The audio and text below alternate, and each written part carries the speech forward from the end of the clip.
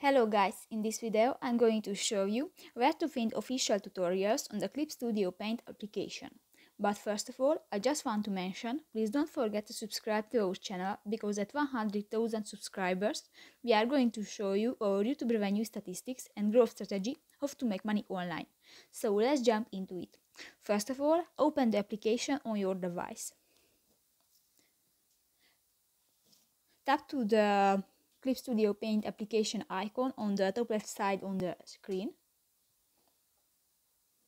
and uh, click to the official tutorials uh, button.